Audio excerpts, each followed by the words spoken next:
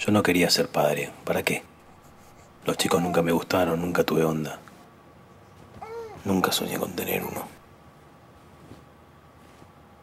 Conocí a Claudia y tampoco es que me dieron ganas. Todo lo contrario, casi que me obligó. Pensé que cuando le creciera la panza me iba a emocionar, pero nada. No me pasó nada. Ni ganas de tocársela me daba. Empecé a preocupar. ¿Seré un mal tipo? Pero algo pasó el día que se me ocurrió el nombre. Me di cuenta que iba a estar bueno.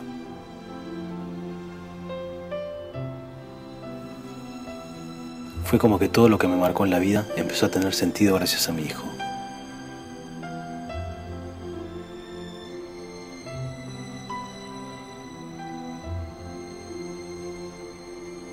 Nunca me voy a olvidar la primera vez que lo alcé, lo miré a los ojos y le dije, Look, I am your father.